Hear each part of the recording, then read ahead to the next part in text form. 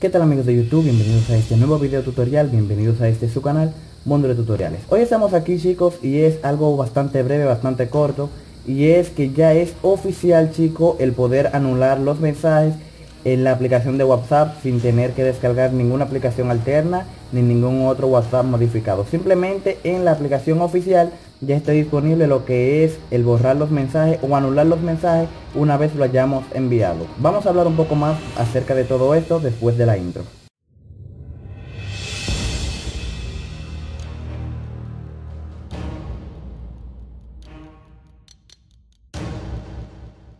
Bien chicos, como ya sabían, ya yo había hecho un video anteriormente explicando de que esta función iba a salir, de que nos iban a incorporar lo que es el poder anular los mensajes en la aplicación, en la aplicación de WhatsApp de manera oficial. Pues hoy ya han lanzado lo que es esta, esta nueva función.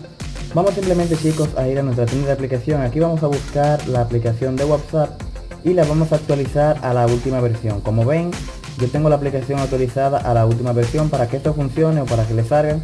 Deben de actualizar la aplicación. Una vez hayan actualizado la aplicación pues simplemente chicos esto es algo muy sencillo ya que lo había aplicado en el video anterior.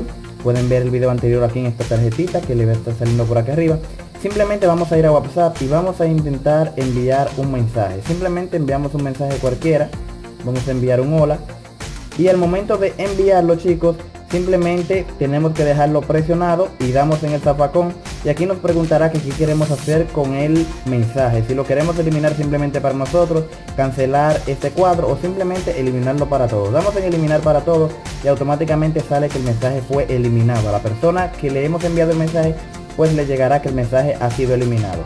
Claro está chicos, esto no lo podemos hacer con todos los mensajes ya que tenemos un límite, creo que es de un límite de algunos dos minutos para poder hacer todo esto. Es decir, que después que enviamos el mensaje tenemos dos minutos aproximadamente para hacer esta, esta función. Bien chicos, eso era todo lo que les traía por el día de hoy. Recuerden que si el video les gustó, dejarle un me gusta. Si el video les funcionó, suscríbanse a este canal. Y nos vemos en un próximo video tutorial. Hasta la próxima.